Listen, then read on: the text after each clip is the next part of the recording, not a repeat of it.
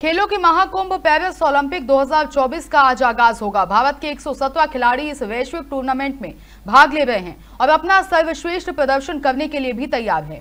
Tokyo Olympic में भारत ने सर्वश्रेष्ठ करते हुए सात पदक जीते थे। इस बार भारतीय खिलाड़ियों का लक्ष्य पदकों की संख्या को दोहरे अंक में पहुंचाना होगा। भारतीय ओलंपिक संघ ने एक खिलाड़ियों का दल पेरिस भेजा है। इसमें से सत्तर खिलाड़ी पहली बार ओलंपिक में खेलेंगे।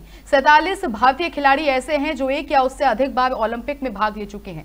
पेरिस ओलंपिक में एक बार फिर से नीरज चोपड़ा, मीराबाई चानू, लवलीना और पीवी सिंधु ने पदक की उम्मीद है।